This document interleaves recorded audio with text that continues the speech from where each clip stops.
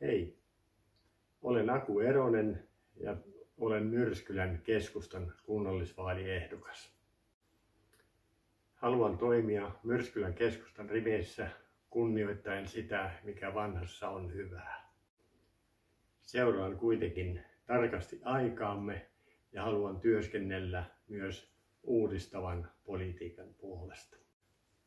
Edistyksellisellä ja vakaalla politiikalla haluan yhdessä muiden toimijoiden ja kuntalaisten kanssa rakentaa Myrskylää paremmaksi paikaksi, vieläkin paremmaksi paikaksi asua, elää, tehdä työtä, yrittää ja harrastaa.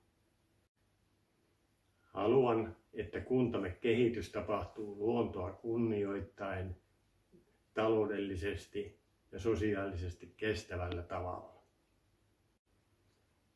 Minä ja me muut Myrskylän keskustassa haluamme väsymättä tehdä työtä sen puolesta, että Myrskylässä säilyisivät lähipalvelut hyvällä tasolla.